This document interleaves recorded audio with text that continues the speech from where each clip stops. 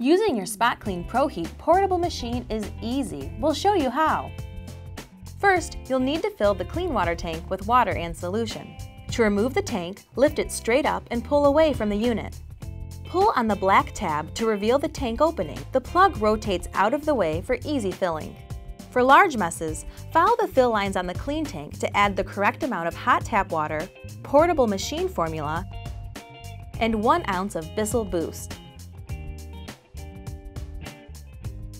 The same applies for smaller messes. Just follow up to the appropriate fill line.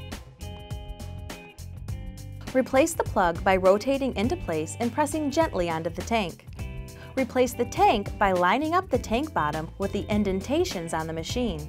Press down firmly on the tank to assure it's in a secure position.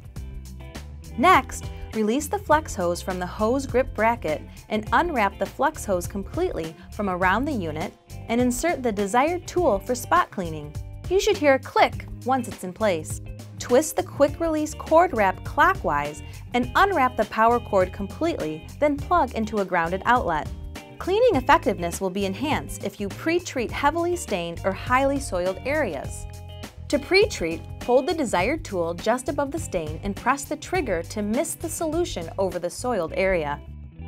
Wait 3 to 5 minutes for the solution to go to work before cleaning. With the spray trigger released, gently scrub the stain with the brush attachment. To lift away the stain, apply downward pressure on the tool and slowly pull it toward you. Continue until no more dirt can be removed.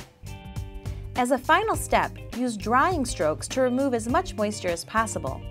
Repeat this step as often as necessary. It's that simple to use your SpotClean ProHeat. We hope these tips have helped you become more familiar.